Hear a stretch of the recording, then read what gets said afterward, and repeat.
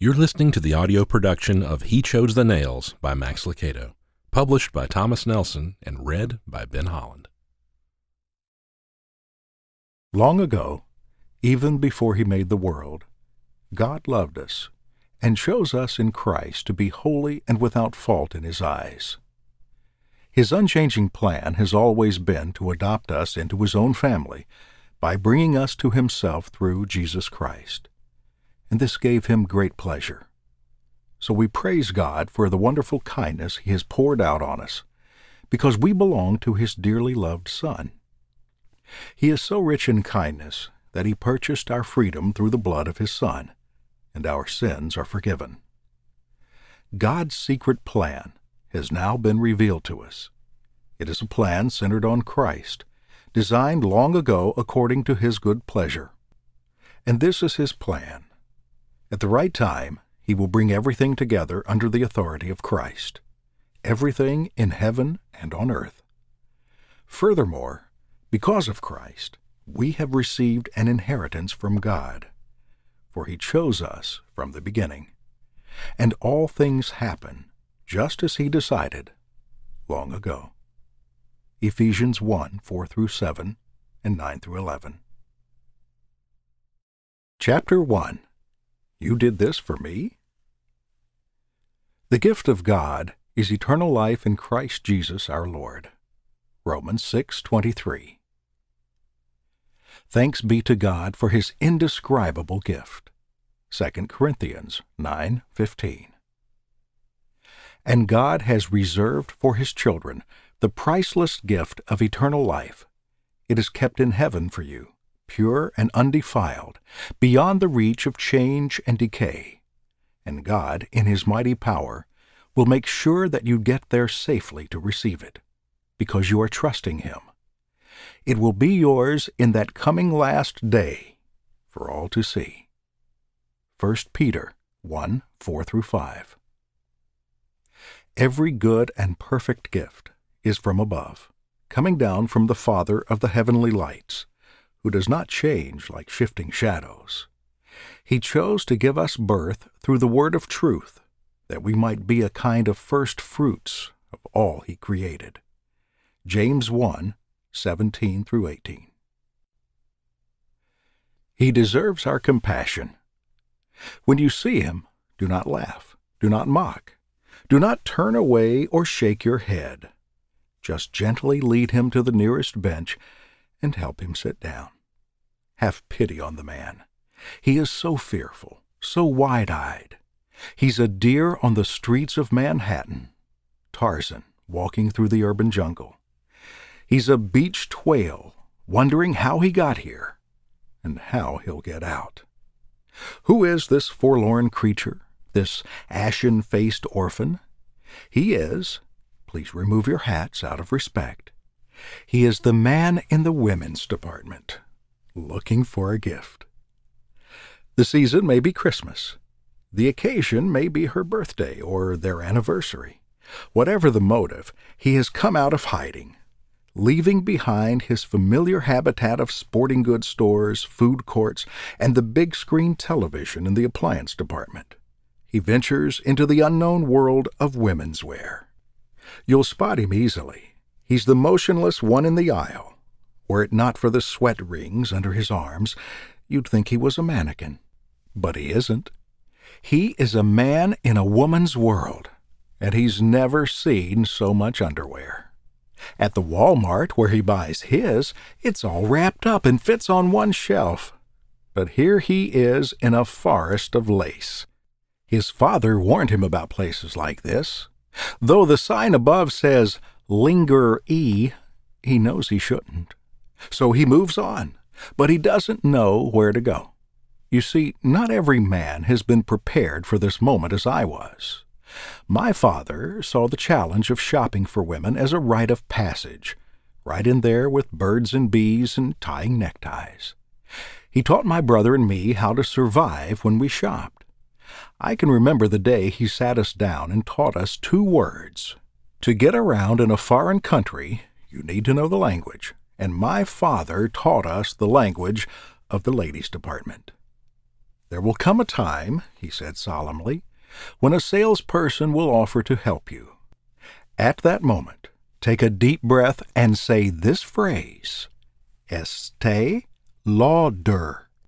On every gift giving occasion for years after, my mom received three gifts from the three men in her life Estee Lauder, Estee Lauder, and Estee Lauder. My fear of the women's department was gone. But then I met Denalyn. Denalyn doesn't like Estee Lauder. Though I told her it made her smell motherly, she didn't change her mind. I've been in a bind ever since. This year, for her birthday, I opted to buy her a dress. When the salesperson asked me Denalyn's size, I said I didn't know. I honestly don't. I know I can wrap my arm around her and that her hand fits nicely in mine, but her dress size? I never inquired. There are certain questions a man doesn't ask. The woman tried to be helpful. How does she compare to me? Now, I was taught to be polite to women, but I couldn't be polite and answer that question. There was only one answer. She is thinner. I stared at my feet, looking for a reply. After all, I write books. Surely I could think of the right words. I considered being direct. She is less of you, or complimentary. You are more of a woman than she is? Perhaps a hint would suffice. I hear the store is downsizing. Finally, I swallowed and said the only thing I knew to say. Estee Lauder? She pointed me in the direction of the perfume department, but I knew better than to enter. I would try the purses. Thought it would be easy. What could be complicated about selecting a tool for holding cards and money? I've used the same money clip for eight years. What would be difficult about buying a purse? Oh, naive soul that I am. Tell an attendant in the men's department that you want a wallet, and you're taken to a small counter next to the cash register. Your only decision is black or brown. Tell an attendant in the ladies' department that you want a purse, and you are escorted to a room. A room of shelves. Shelves with purses. Purses with price tags. Small but potent price tags. Prices so potent that they could remove the need for a purse. Right? I was pondering this thought when the salesperson asked me some questions questions for which I had no answer. What kind of purse would your wife like? My blank look told her I was clueless, so she began listing the options handbag, shoulder bag, glove bag, backpack, shoulder pack, change purse. Dizzied by the options, I had to sit down and put my head between my knees lest I faint. Didn't stop her. Leaning over me, she continued money bag, tote bag, pocketbook, satchel. Satchel? I perked up at the sound of a familiar word. Satchel Paige pitched in the major leagues. This must be the answer. I straightened my shoulders and said proudly, Satchel. Apparently, she didn't like my answer. She began to curse at me in a foreign language. Forgive me for relating her vulgarity, but she was very crude. I didn't understand all that she said, but I do know that she called me a Dooney bird and threatened to brighten me with a spade that belonged to someone named Kate. When she laid claim to our money, I put my hand over the wallet in my hip pocket and defied, No, it's my money! That was enough. I got out of there as fast as I could, but as I left the room, I gave her a bit of her own medicine. Estee Lauder! I shouted, and ran as fast as I could. Oh, the things we do to give gifts to those we love. But we don't mind, do we? We would do it all again. Fact is, we do it all again.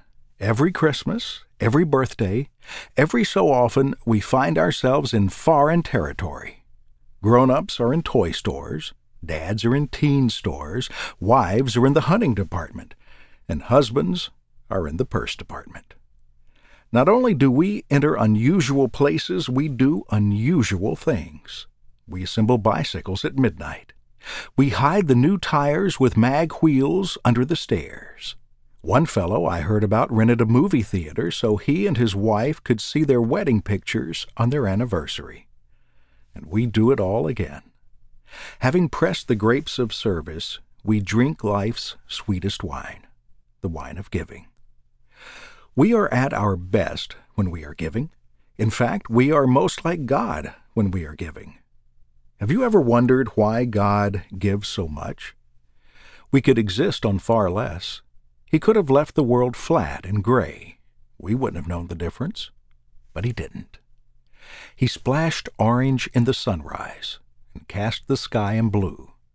And if you love to see geese as they gather, chances are you'll see that too.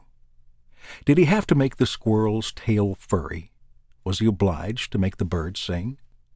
and the funny way that chickens scurry, or the majesty of thunder when it rings. Why give a flower fragrance? Why give food its taste? Could it be he loves to see that look upon your face?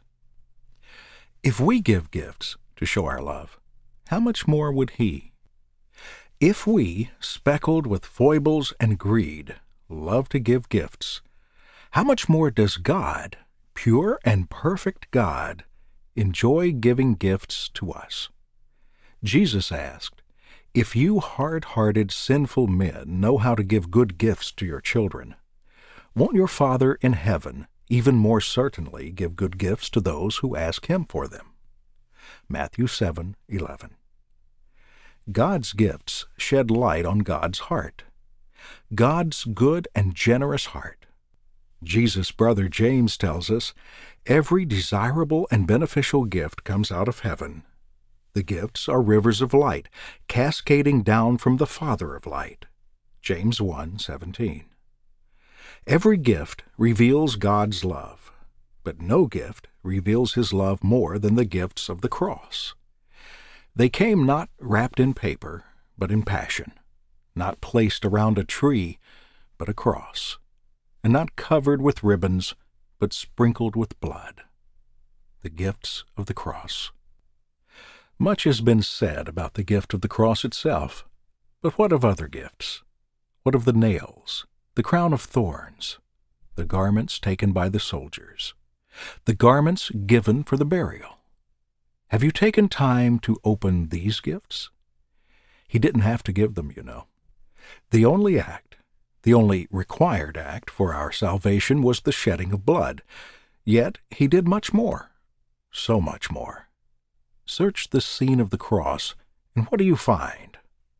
A wine-soaked sponge, a sign, two crosses beside Christ, divine gifts intended to stir that moment, that split second when your face will brighten, your eyes will widen, and God will hear you whisper, you did this for me? The diadem of pain which sliced your gentle face, three spikes piercing flesh and wood to hold you in your place. The need for blood I understand. Your sacrifice I embrace. But the bitter sponge, the cutting spear, the spit upon your face, did it have to be a cross? Did not a kinder death exist than six hours hanging between life and death, all spurred by a betrayer's kiss? O Father, you pose, heart stilled at what could be. I'm sorry to ask, but I long to know. Did you do this for me? Dare we pray such a prayer? Dare we think such thoughts? Could it be that the hill of the cross is rich with God's gifts? Let's examine them, shall we? Let's unwrap these gifts of grace as if, or perhaps indeed, for the first time. And as you touch them, as you feel the timber of the cross and trace the braid of the crown, and finger the point of the spike, pause and listen. Perchance you will hear him whisper, I did it just for you. Chapter 2 I will bear your dark side. God's promise in the soldier's spit. Sin lurks deep in the hearts of the wicked, forever urging them on to evil deeds. Psalm 36 1. Vanity is so anchored in the heart of man that those who write against it want to have the glory of having written well, and those who read it desire the glory of having read it. Blaise Pascal. The heart is deceitful above all things and beyond cure. Who can understand it? Jeremiah 17:9. Sin, understood in the Christian sense, is the rent which cuts through the whole of existence. Emil Brunner. Oh, this propensity to evil! How did you creep in to cover the earth with treachery? Ecclesiasticus 37:3. What would have happened to the beast if the beauty hadn't appeared? You know the story. There was a time when his face was handsome and his palace pleasant, but that was before the curse before the shadows fell on the castle of the prince, before the shadows fell on the heart of the prince. And when the darkness fell, he hid. Secluded in his castle, he was left with glistening snout and curly tusks, and a bad mood. But all that changed when the girl came. I wonder what would have happened to the beast if the beauty hadn't appeared. Better yet, what would have happened if she hadn't cared? We hope you enjoyed this preview. To continue listening to this audiobook on Google Play Books, use the link in the video description.